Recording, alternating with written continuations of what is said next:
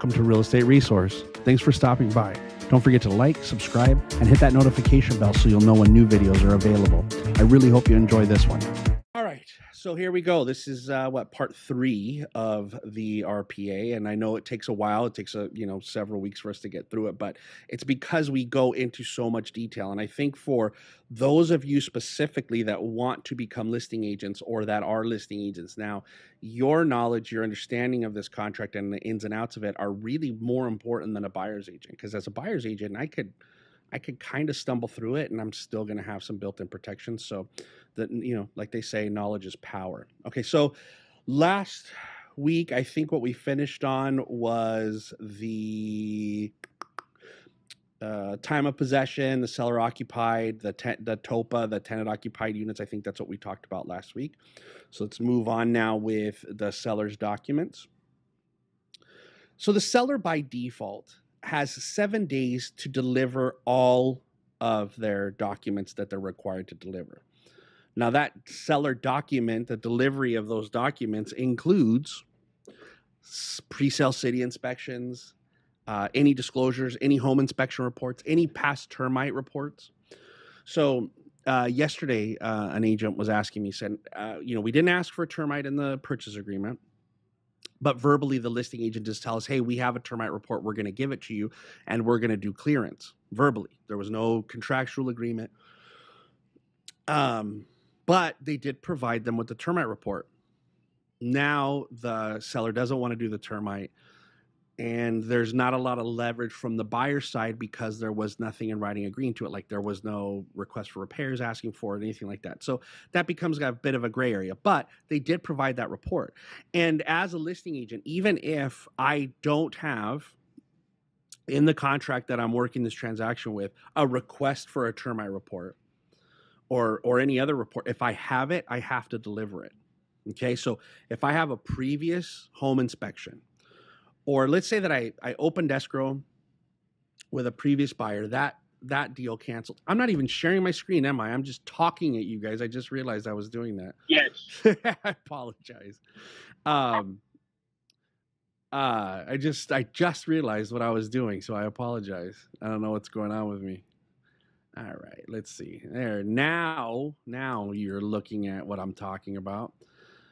All right. There we go. Sorry about that. I apologize. Okay. Seller delivery of doc documents, paragraph three and one, right? Which seven days is the default. So we just recap that. If I have anything from a previous escrow, I have to disclose it to the buyer. So if a buyer did, and you know, there's numerous inspections that a buyer can do besides a professional home inspection if I have an inspection, if let's say they've done a soil stability or they did, you know, some other kind of test and I have a copy of it, I need to provide that to the buyer. Now, the reason I want to do that too for me as a seller is not just because of transparency, but if I attach all of those inspection reports to my transfer disclosure, right? I give them, now it becomes part of my disclosure. So when we talk about all the time where um, we see people countering you this property sold as is no repairs. And the and the contract and we'll get to it later on in, our in our classes the contract already says we're selling you this property as is but it's as is subject to the disclosures made by the seller and the inspections done by the buyer. That's the as is. We have that right right? That's those periods of time for the buyer to do their due diligence. Excuse me.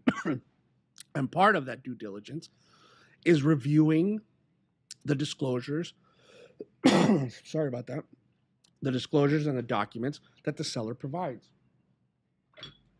So, the more things that I provide the buyer as the seller, the less liability I have, and the more I'm actually selling the property as is. Does that make sense? so, you should you should really be encouraging your sellers, right? If you're dealing with an expired listing, ask them, have, were you an escrow before? Do you have any previous inspection reports? Right. Let me even let me see your previous disclosures so we can make sure that they were disclosed. You know, you have the, the proper disclosures. I want to go over over everything so we don't miss something because sellers forget stuff, right? And if we're not really clear with them on the disclosures and going through asking those questions, they can forget. So the more you disclose, the better. So the delivery of documents is everything that they need to that they need to provide is going to be listed right here in paragraph 14a. So when we get to 14a, we'll see everything that the seller has to provide in that 7 days. Now, going back to the contingencies for the buyer on the review of the seller's documents, remember it's a 17 day contingency, 17 days after acceptance, or five days after delivery, whichever is later. Five days after delivery, whichever is later. So they're not even, it used to say in 14.8 if the seller was late delivering, which means they went past the seven days. Now it's just saying if you give me a shortened contingency for reviewing the seller's documents, you've got to make sure that if you want me to remove in that contingency period, that I deliver them to you five days prior to whatever that contingency period is. So I know it says seven days. That's fine. We could stay with that seven days. But if I've shortened the contingency for a buyer's agent and said you now have 10 days to review all of the documentation that my seller provides you and remove that contingency, I've got to give it to you within day five at the latest, or else I'm giving you five days. You'll have till day 12. You guys follow? So remember, as listing agent, if I'm going to shorten these time periods, it also shortens some of the time periods for me to take action.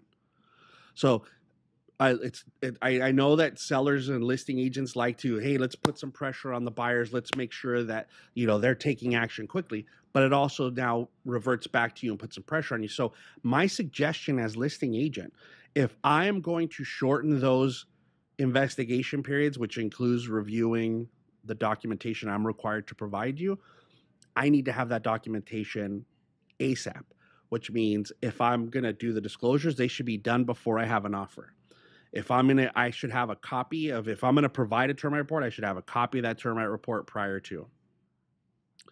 If I have a pre-sale inspection report, I should have I should have ordered that pre-sale inspection report the moment I took the listing. If I gotta, I have to provide a, um, I have to provide a, a preliminary title report. I need to have that prior to having an offer accepted so there you know again i know that sometimes we talk about old school stuff right we talk about how people used to do business or what the business was like. And it sounds a bit like, you know, I walked uphill both ways to and from home to school in the snow uphill, right? We do those conversations. I know it sounds like that. But there used to be an agent, I don't even, I don't think he's still active. His name was Charlie Dunn. And was, his little tagline was done deal. But he would deliver all of the disclosures and sellers reports and any documents they required with counteroffers. So you had it from day one. So basically, if you were accepting his counter, you were also you were also approving the disclosures, which means you had to review the disclosures, sign the disclosures, and sign the counter offer before your offer was even accepted. Now, if you do something like that, then you could make their you could make this review of sellers documents one day, two days, three days, seven days, whatever you want to do, you could shorten it as much as you want because I've already provided the documentation. But if you're shortening this down to seven days, which I see people do for all of these contingencies, like seven days for all this stuff, then you you better have it ready to go, and they better have it in their hands within one or two days of acceptance. Okay, so keep in mind when we put that pressure on the buyer side, we're also putting a little pressure on the seller side questions about the delivery of the documents? Anybody? All right, moving on. Sign and return escrow holder provision and instructions. So this is now a performance, a time for performance, right? Is signing it's been there for a while, but you have 5 days from the date they got delivered to you to return them to escrow, which means now returning escrow instructions has become something that a notice to perform is able to be used with. So if a buyer is dragging their feet and not returning escrow instructions, if a seller is dragging their feet and not returning escrow instructions, somebody could technically send a notice to perform to return those escrow instructions. And if you don't do it, they could cancel on you, either party. So keep in mind that I know that sometimes, you know, you try to do escrow instructions and disclosures and all these things together. we're going to have to probably take a different approach to how we handle those things and do them in a timely manner because we're opening ourselves up to a transaction being canceled for something as silly as not returning escrow instructions. Now, remember, it's not from acceptance; it's from when you got them. So it's it's not even like you could blame escrow and say, "Well, they didn't deliver them till then." Well, it doesn't matter when they delivered them. It was five days after they delivered them. You return them. Okay, so keep that in and keep that in mind. This one is a little bit difficult right here, which says time to pay fees for ordering HOA documents is three days after acceptance. The reason that becomes difficult is 99% of the time, those documents get ordered from escrow. Escrow is the one who does the order, pays the money to get those documents. The problem is escrow is not going to do it until until the buyer's deposit hits escrow and clears, right? That they're going to use that money from the deposit to order those disclosures. Oops, crazy hands they're going to use that money to do it. So maybe you want to increase the time on that because again, it also could be have you ordered the documents yet? No, we haven't ordered them. Okay, well now it's a notice to perform because it's the seller's responsibility, even though escrow's doing it. Okay. Installation of smoke alarms and carbon monoxide detector, water heater bracing, all that stuff. Now, if the seller's going to be responsible for those things, they've got to be done in the first seven days after acceptance. The reason that that happens, and you've got to explain to your sellers why you want it to be that way.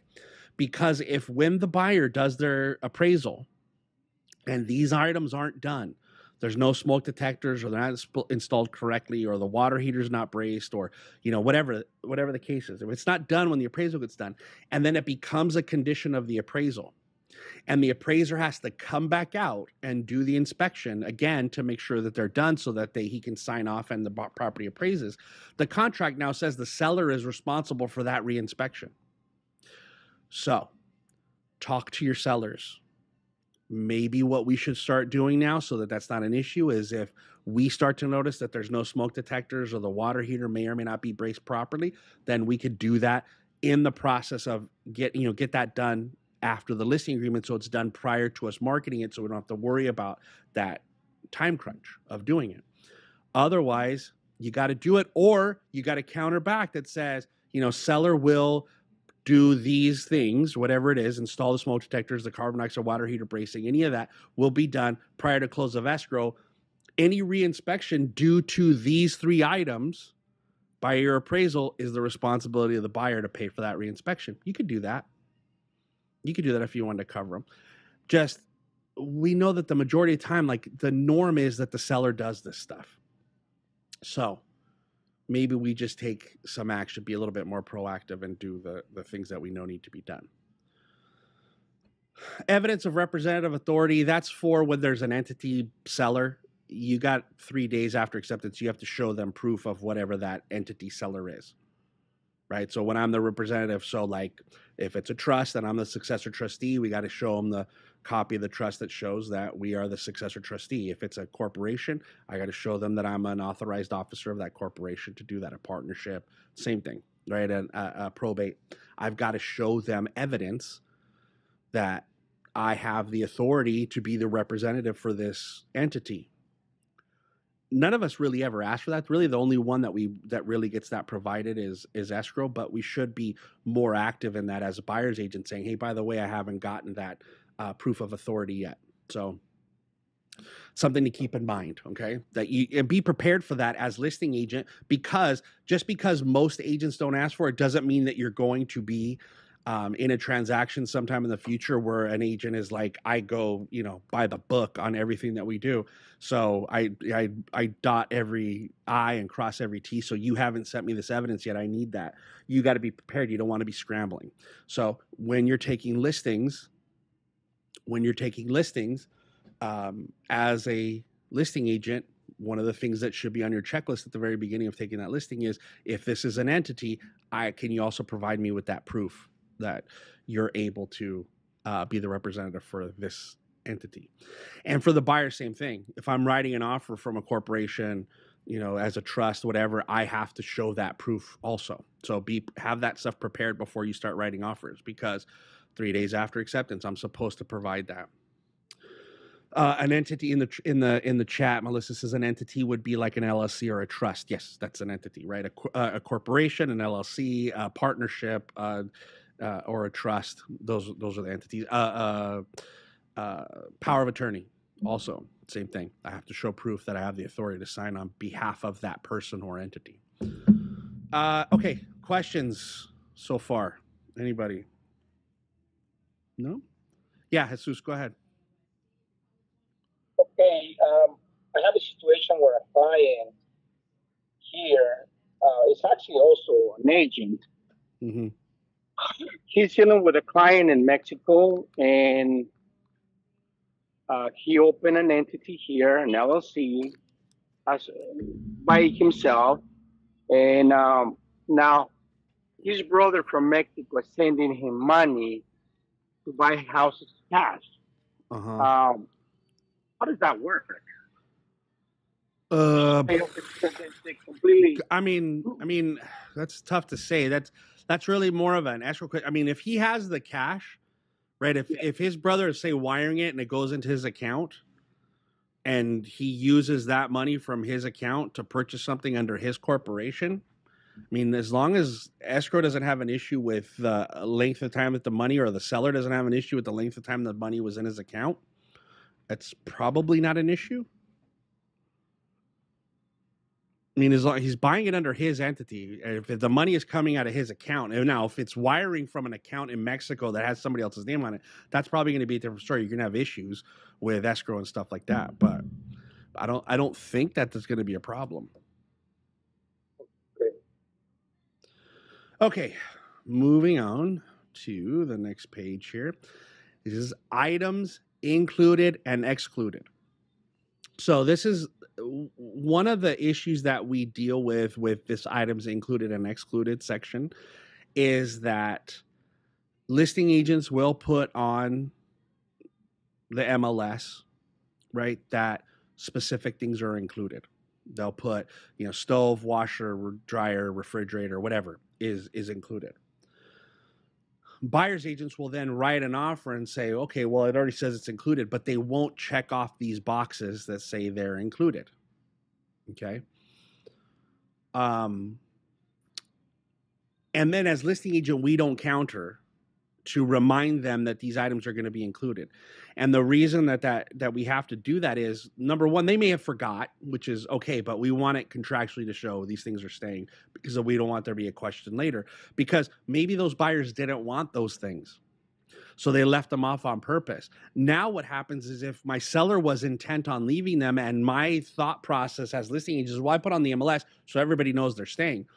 If they stay after the close of escrow, now they become personal items and and debris, right? And the contract says that the seller's supposed to leave the property clean of debris and personal items. So now it's personal items. So now what they've done is they've left a buyer who maybe didn't want these items, they've left them with items that they don't want.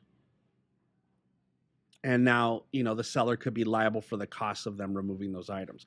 So, as listing agent, we want to make this as active a process as possible. So, if my seller is adamant that the stove, refrigerator, and washer and dryer are going to be included with the sale, and I get an offer that doesn't have any of those things checked off, I'm going to counter to say buyer is aware that refrigerator, washer, dryer, and stove are going to be left with the property at close of escrow.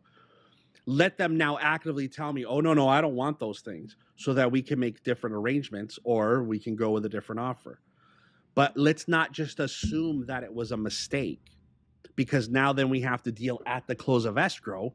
We now have to deal with a buyer being upset that there's a refrigerator, stove, and washer and dryer that they didn't need because they already had one.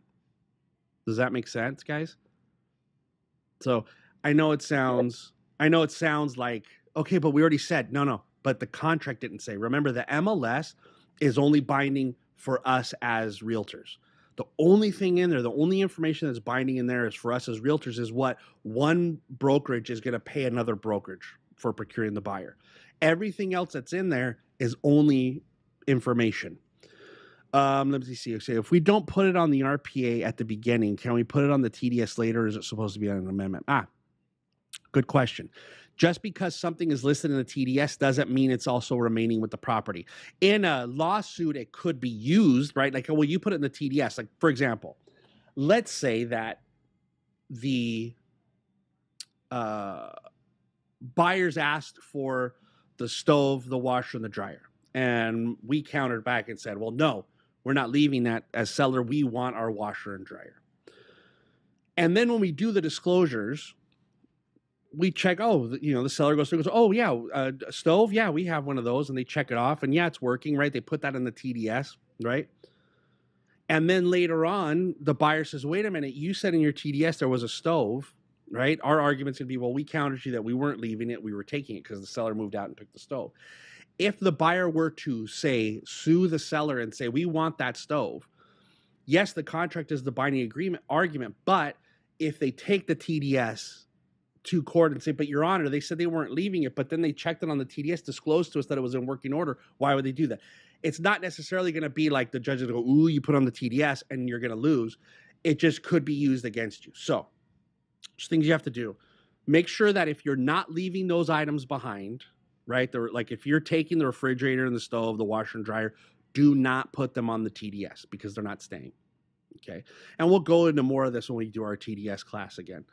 Um, but if if you're doing this like they left it off and you forgot to counter it you got to do an amendment of existing agreement terms you can't just put it on the disclosure and say well i put it in the disclosure so you knew no no no no i said i didn't want these things you didn't counter me because i didn't ask for them you can't just put it in the disclosures and, and say nope they're your problem now okay so no you can't do that you have to do that on an amendment that they would you know again actively agree yes we're keeping these items okay go ahead jesus Okay, so let me get this straight. So we're not leaving the fridge in the stove. We should not add them up to the TDS.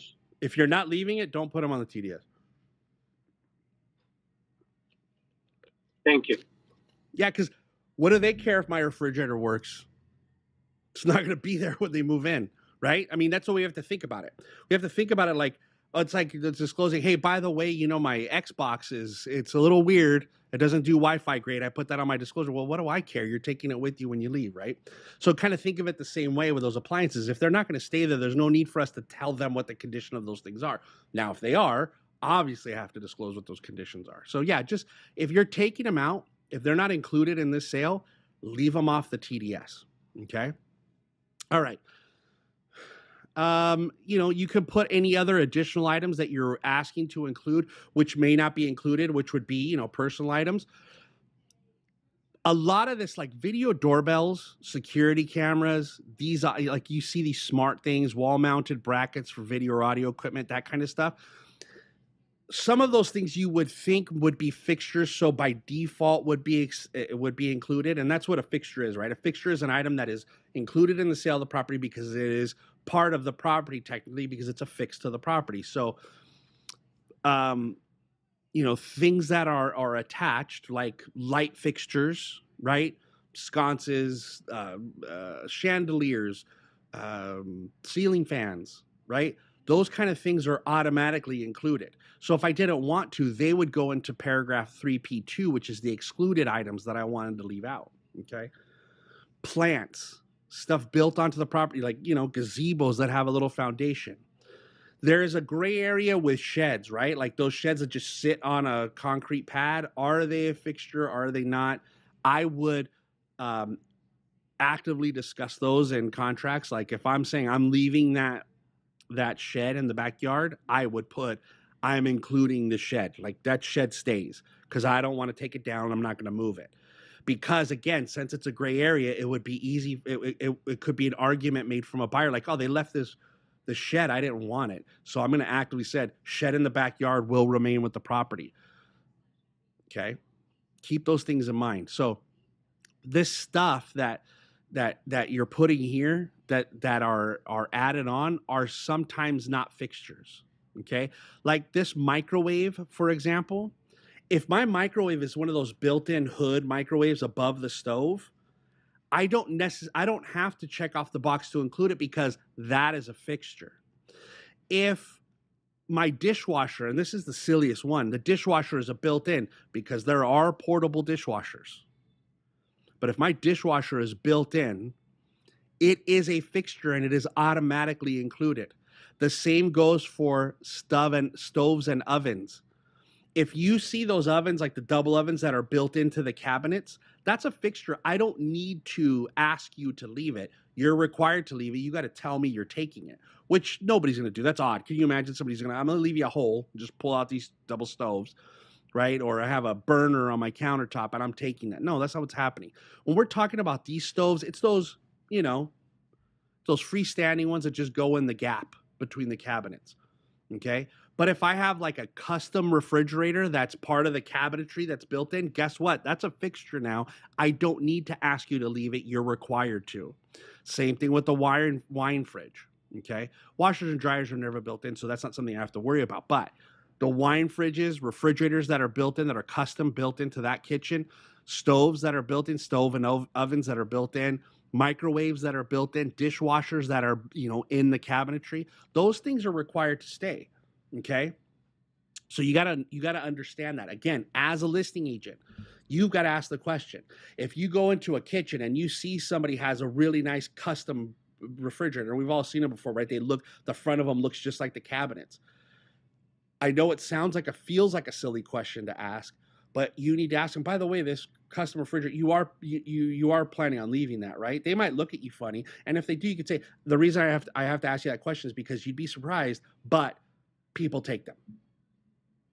Okay? People take them, even when they're not supposed to. Okay, so keep that in mind.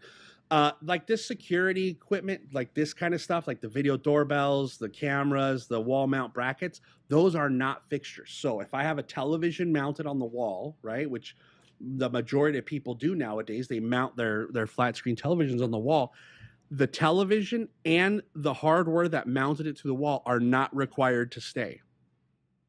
Okay, they're not required to stay. So you have to keep that in mind. Okay. Any questions about the items included? Okay. Excluded items, again, that goes back to the fixture thing that we were just talking about. If there are specific fixtures, things that are by default staying with the property, but you want to take them, that's where you would put it, right? So, like we talked about with chandeliers and light fixtures and ceiling fans and things like that, if there was some specific item that you wanted to keep, you could counter back if you're the listing agent to say, I'm, I'm going to keep these. These aren't included.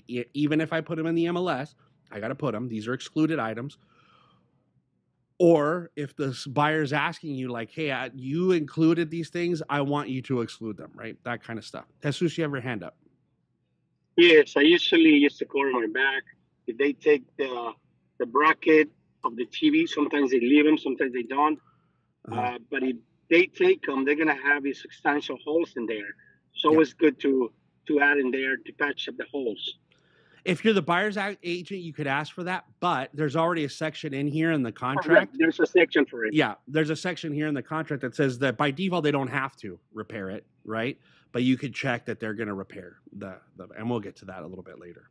But yeah, you should always ask for that. You want that because you want your buyer. You know, uh, it's the the relationship with buyers is is fragile as it is, right? And if they feel like they're having to take care of too many things, they start to blame you. So, okay, so that's items included, excluded. Okay. Natural hazard zone disclosure report. This is a mandated disclosure. It has to be provided. Well, okay, let me rephrase that.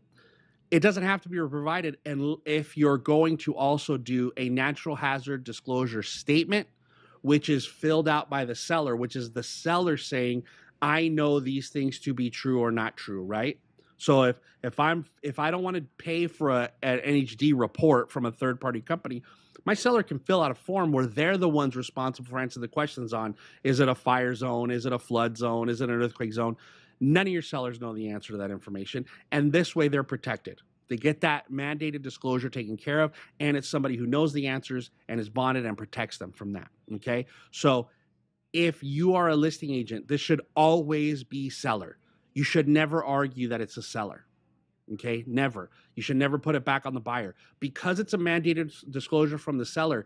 If we say, no, buyer, you're paying for this, could an argument be made that the seller didn't provide that disclosure? We don't want to do that. So they're not super expensive. If your seller refuses to pay for that, you pay for it because you also sign that disclosure as the listing agent. So that makes you semi responsible for the disclosures that are on there. You got to make sure that that gets provided the way it's supposed to go. Please always check off the box pro- the provided by and put whoever your your preferred NHD provider is when you're writing the offer or seller's choice, right? For us right now as buyers agents, when we're writing these, it's always going to be the majority of these things are going to be seller's choice. Okay. Uh, let me see. I got a question in the chat here. If a water heater gets stolen during escrow and they put in a replacement water heater that's worse quality, how do you navigate that? Wow. Um, good question. If you don't find out until after the escrow has closed, then it would be a civil matter if it's prior to closing, like if it's you find it out at your walkthrough and you've done your walkthrough at the right time, you delay closing and try to negotiate them to uh, replace it with a comparable water heater. And if they don't, then you have to make a decision on whether we want to jeopardize our deposit and cancel because of it, or if we want to close and then again try to pursue them civilly. Okay. That's really all you could do. But you got to, I mean, a listing is a seller's responsible for whatever is in the property when they market it and sell it, when they accept that offer. The same quality has to be in there when they close it, whatever it is. Like, for example, if I tell them I'm not taking, like, if I take the ceiling fan, we talked about excluded. If I counter it and, I, and they accept it, I could do that. I mean, I shouldn't leave wires hanging out if it were me, if that was part of the selling features of the house, was this nice ceiling fan or chandelier or window fixture or what uh, light fixtures, whatever that is, I would say to the seller, if that's something that you are adamant that you're not going to leave with the property, take it down now, replace it with something comparable, and let's market it with the new ceiling fan so we don't have to counter it. I would do that because you know it, it does it does affect maybe the desirability of the property if we're starting to take away fixtures if I am going to say no, I don't want to do it until we get an offer accepted, I would say that you know maybe in the counter it's not going to it's not going to remain, but we're going to replace it with something comparable. You would do that, right? I-, I think that's what you should do. And if if the seller is going to replace something that is broken, like a water heater maybe, or it got stolen, right? Then it has to be replaced with something comparable, right? That because that was there when the person bought the house, and that was part of what was the desirability of the home, was the condition of the home, and now it's in less of a condition when they wrote the offer. So, yeah, they could be responsible if it's not a comparable um, water heater. Okay, so NHD, please make sure you get it done. Always ask for the environmental, right? Seller's choice is fine. Most of the NHD companies that are out there are all, you know, I don't want to say the same because it's you know, the people that work there and things like that, but they're bonded and they're going to get basically the same information. So you're okay with seller's choice. This next section right here, 3Q2, is relatively new and it says click here for additional report. The only report that's here is the Fortress wildfire disclosure. That is not a required disclosure. Okay? That is not a re- required disclosure. You could ask for it, but what that Fortress wildfire disclosure is, is it's a more detailed report. So, for example, a property that is in a high fire zone or a very high fire zone, that fortress wildfire disclosure, it could show that even though your property is in a high fire zone, it gets very specific to where those fire zones are and the danger to the property based on this report. And maybe that report could help your insurance because we all know that insurance is going to be an issue, uh, especially in California right now. And if you're in a fire sec- fire uh, area, high fire area, it's it's very difficult. Um, so that could help, or it could be the opposite. It could be like, oh, you're right in the middle of the worst fire area. But that's what that report does. And it isn't required. So if you're not going to ask for it, put not applicable and then take this off. There's no, nobody's providing it, right? Because you're not asking for it. If you are going to ask for it, then you check it off. You check for the seller. And then again, seller's choice. I don't care who provides this. I mean, it's a it's a one company that does it like that fortress wildfire this is the name of the company that does it. It's just provided by one of the nhd companies that's all. Oh maria put a little note for us that that report costs $140 uh, that's for the single family. If a condo you don't need it. So there you go. There you go. So again not mandatory. If you're a listing agent and you don't want to pay for it counter it out If you're a buyer's agent and you're not going to ask for it, please make sure you change this to not applicable and you make that to nothing and you don't check a box. Okay. All right. Uh, questions so far? All right. The next one, this blank report right here. That's if you're asking for a report that's not on, that's not already listed or is not a required thing for the seller to provide you, like a city presale. Those city presales are already handled here in paragraph 3Q, 5, and 6. I don't need to ask for it here. It's here. The 9A report, the city of Compton, city of South Gate, city of Maywood, whatever city has a report, that's already covered in 5 and 6, and 3Q, 5, and 6. Okay? Already done. So if I want the seller to provide those, that's going to be seller seller. So here is for any reports that may not be normally included, like a termite report. So if against my advice, you're asking for a termite report or wood destroying pest report, whatever you want to call it, that's what you're going to put here. Right? That's it. Just the report. This is only the report. The repairs are handled differently. I've seen, I've seen, and I just saw, I, have seen in the past, and I just saw one yesterday. An uh, agent wrote their offer asking f- in this section in 3Q3 termite inspection and clearance. Well, that doesn't make sense. If I have to go to a text overflow addendum for it to say t- uh, would, uh, termite inspection and clearance report, I mean, think about how that sounds as a sentence. This is just asking for the report. So if you're going to ask for it, which I would tell you don't do unless you're a VA buyer, this is just the wood destroying pest or termite inspection report. That's it. That's it. I'll show you in a little bit where you're going to put their the request for them to provide the clearance. But since I am totally against you guys asking for this, please don't leave it out leave that blank. Okay. And the reason I don't like you to put it in there is because then it becomes a lender requirement that there's a clearance. That's why. That's why I leave it out. Okay, so the smoke alarms, the carbon monoxide detectors, the water heater bracing. Remember, we said that the seller's responsible to have that done in the first seven days. This is who's going to pay for it, right? Like you could say, okay, I'll pay for it, but you got to do it, which means it's a bill that gets put back in escrow and it becomes a charge for the buyer side in closing. But that's not the norm. The norm is the seller's going to pay for it. If you're writing this offer, always check off seller. If you're a listing agent, you got to explain to the seller that this is the norm, that this is the seller's responsibility to provide these things. Okay. All right. We just talked about Q5 and 6. That's the government required point of sale inspections and reports, right? So pre sales, 9A, what any of that stuff is now the seller's responsibility to do. This section Q6 is the corrective measures that go along with those reports. So five is the report, six is the remedial actions and the corrections. Okay. So this is the report, this is the repairs. So if you've checked this off, so if you're if I'm listing agent and I get an offer like this, the seller is required to provide these reports. Buyers can't get them. Buyers can't get them. So if you're talking about the city of South Gate, city of Compton, any of those cities, the seller is responsible to provide that report, even if the buyer is going to take responsibility. Even if, right? So if I'm a seller, if I'm a listing agent, I'm not countering this. I'm not countering this. I'm going to give it to you. I'm going to pay for it. We're going to give it to you. Now, I might counter Q6 and say buyer to be responsible for any corrective measures or remedial actions based on City of Compton pre-sale inspection report. That I'll do, but I have to. You got. We have to get to the point where we start with this. I. It's not a waivable item.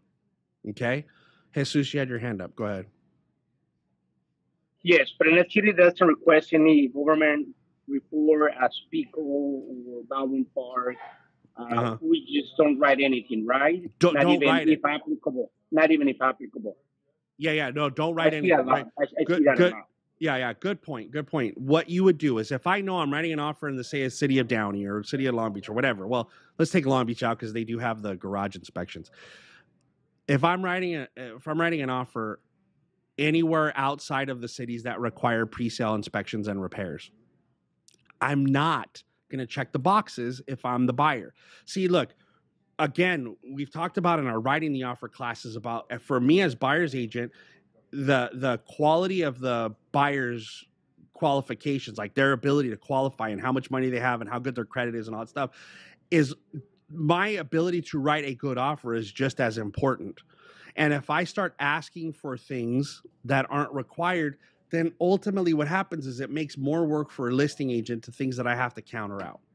And the reason that you got to counter these is even in cities that don't require it. So we'll use Downey, for example. Downey across the street from us does not require city pre-sale inspections. Don't require them.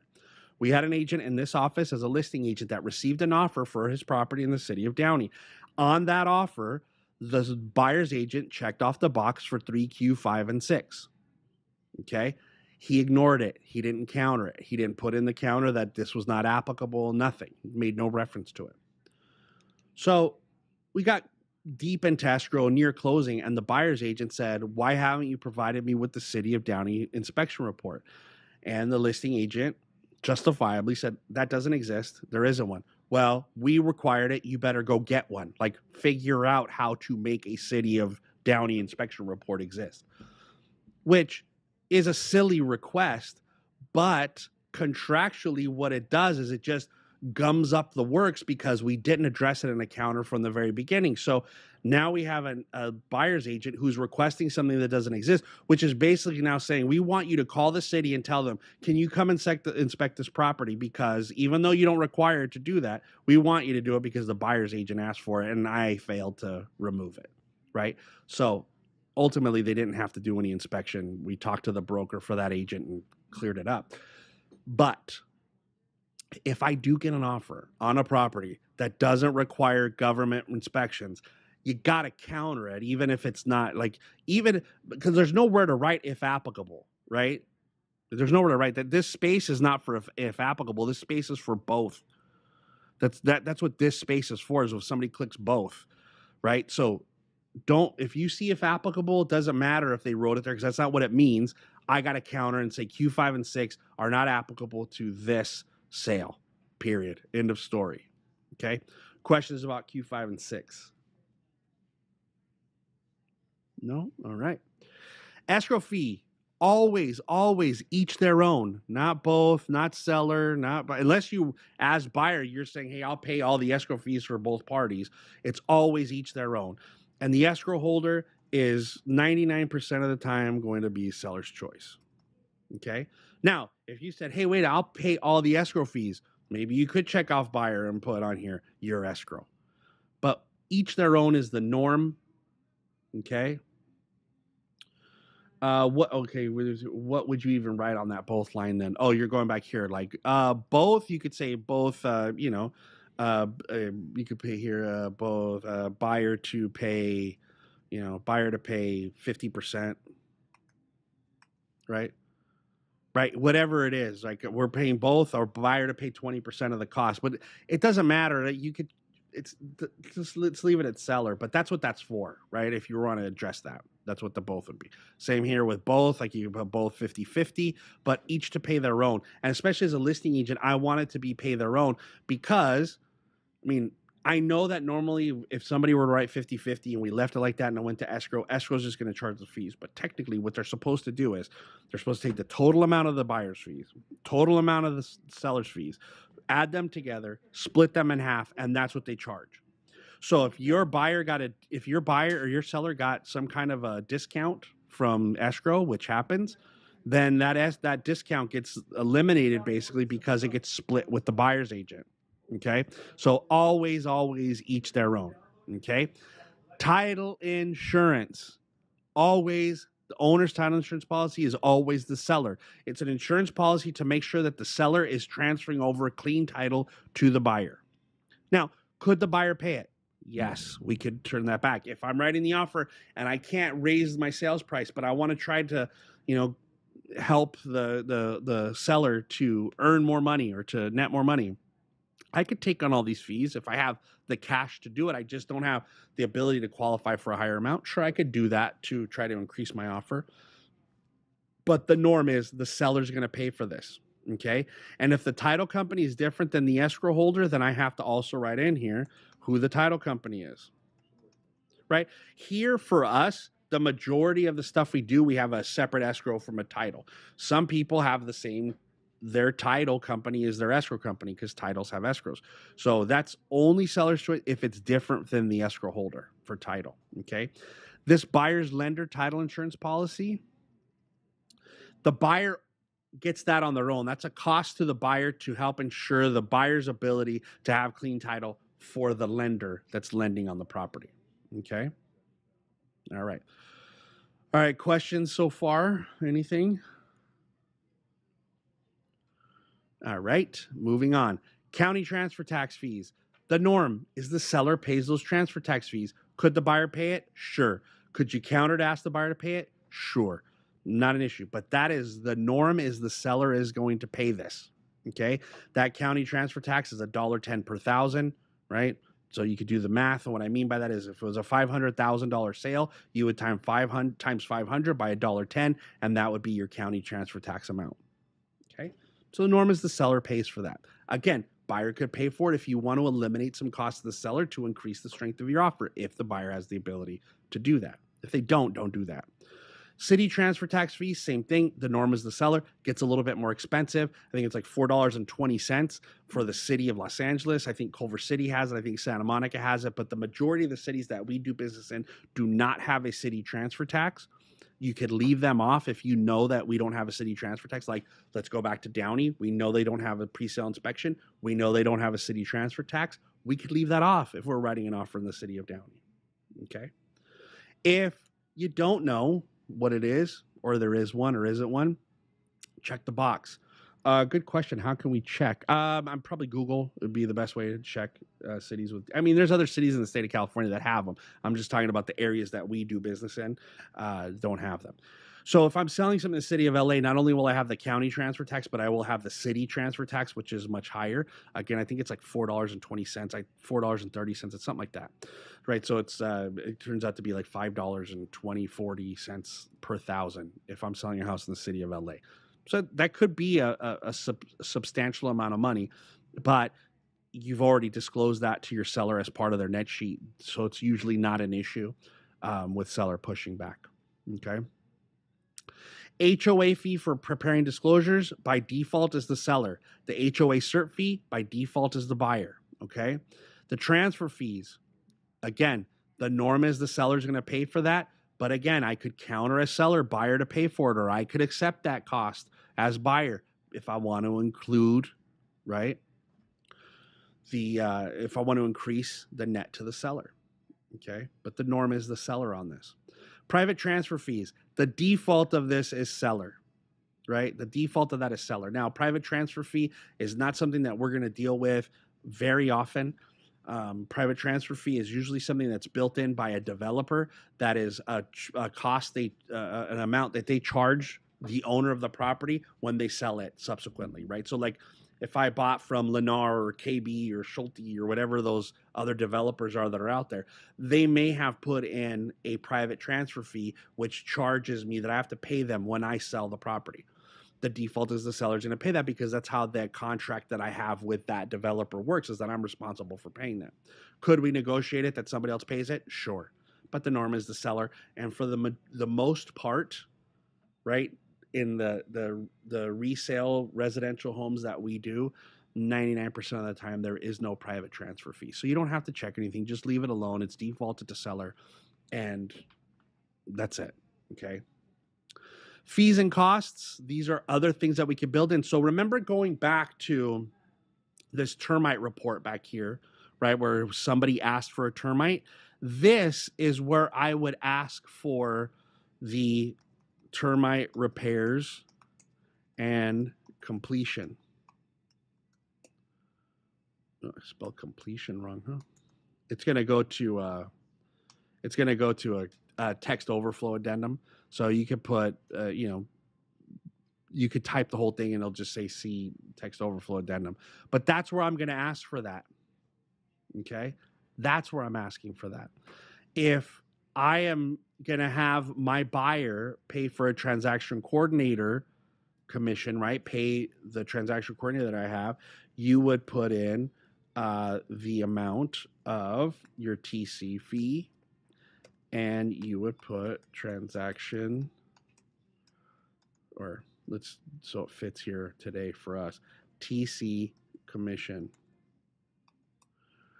um we want to put in there that tc commission we want to put it that way it's just it's uh, more um, uh, just so we're compliant that we're not showing that we're charging a fee for something that's that that shouldn't be charged for um I, uh, look, there's again my opinion. If I have a transaction coordinator, I'm probably going to take that cost on myself. But you can uh, pass it on to your client, and that's okay. I'm not judging. Okay. uh, yeah, and well, yeah, whatever company your TC works for, like for us, if it's the transaction coordinators that work for Century 21 All Stars, that that you have to make sure that that transaction coordinator commission is getting paid to Century 21 All Stars. If you're you know paying an outside one you're probably going to have to pay that out of your pocket. Uh, matthew can you explain why getting clearance is important for termite the only reason i'm putting that in here for the clearance is because if i'm asking for the repairs in the report in the offer the lenders 99% of the time is going to make it a requirement for funding. So i want the seller to be responsible for it. Okay that's why i need the clearance. If i get if i just get a termite report right i didn't ask for it right? I'm not asking for it up above. I don't need to put in the clearance there. I have the ability to ask for those repairs when I do my own termite inspection as part of my request for repairs, and then it has nothing to do with the lender. So the only reason I would put this here is if I had requested that report, it was part of my purchase agreement, and I wanted to make sure that that was going to get taken care of so that I wouldn't have to pay it to get my loan approved. Okay. All right. So that's that with the TC fee, the commission. Oh, Eric, go ahead. You have your hand up. Um, I noticed that uh, on that uh, on that um box right there too, we can put the termite um repairs and completion, something that you wrote, Yeah. but it didn't fit. So can yeah, it's gonna go to a. It's gonna switch over to a text overflow addendum. That'll be, it'll it'll it'll be attached to the. Okay. Um, um, back then uh, we were using the word section one. Is that kind of the same? Well, section one repairs are the actual physical damage that already exists to the Mhm. property. Section two is preventative stuff. So in this case, if I just say I want the completion, the seller's taking responsibility for both section one and section two. Oh, okay. Yeah, that's what's happening in this. If I want to counter and change that, then yeah, I could counter as listing agent and say, I'll be responsible for section one, or I'll do any completion up to this amount. Buyer to be responsible for the balance, if any, right? I could do all that stuff. But if I were you right now, I would just be leaving it out altogether. Okay, got it. Thank you. hmm Okay. Um, let's just finish home warranty real quick and then we'll be done for today. Home warranty plan chosen by the buyer. The seller is the norm that we're going to want to do that. Know the costs of the plan that you're getting and what the coverages are. I always see people put like $700 and then they don't put anything else. They just pick Old Republic. Oh, also, when you do like for example, I'm doing Old Republic, do your your rep, right? So if it's Old Republic, it's Gloria Navarro, right? You put their name in there because if I'm writing an offer and it goes to an outside escrow and I just put Old Republic, they're going to pick their Old Republic home rep to get that, right? So same thing if I'm doing First American, right? If I do First American on here, then I'm also going to put Rebecca, right? So make sure that you're putting the name of your rep in there. Make sure that this cost that you're putting like if I'm just asking for a basic home warranty, find out what a basic home warranty is. And I don't know off the top of my head what it is. Let's what is it like 460 or something for just a basic single family one? I don't know, something like that, right? So if that's it, if it's basic, then great. That's it. 460. I don't have to put anything else. But if I put an amount like $700, then I need to put what the coverage is here. I need to add the coverage because if I don't, what I'm asking for is a basic home warranty at a maximum cost of 700. So what that means is technically per the contract is that the seller only has to pay for a basic home warranty. They don't have to pay $700. Now, I know what happens is people still order the whatever fits in that 700 and sometimes the seller pays it, but that's not what's supposed to happen. I could say that you're breaching the contract. Hey, listen, you asked me for a basic home warranty maximum not to exceed 700. Well, a basic home warranty doesn't exceed 700, so I'm only paying for a basic. What you need to do is either put the name of the special plan, put roof, put pool, put AC, whatever the additional coverage is that I'm asking for with this additional cost. You got to put it in. You got to put in. But as seller, if I want to at 700, I'm not paying that. I could counter back and say, we're going to pay you $460, $500 for a basic home warranty plan. And that's it. I'm done. I could do that. Okay. All right. Questions before I stop sharing and we go to lunch for the day. Anybody have any questions? No. All right. So let me stop the share here. Okay. So we're moving right along. We will continue uh, next week. I think. I don't think there's anything getting in the way next week. So next week we should be continuing on with our next part of the purchase agreement. Uh, before I let you guys go, anything at all that you guys need before I let you go? No. Okay. This video will be up later today, probably in uh, next couple hours. Oh, Jesus, you unmuted. Did you want to say something? I was gonna say I'll just go back you bug you to your desk. No worries. All right. So, uh, video will be up if you missed any. If you missed the beginning, you want to revisit, it'll be up in the next hour or two on YouTube. Uh, thank you guys for being here. I really appreciate it. Have a great day, and I will see you soon.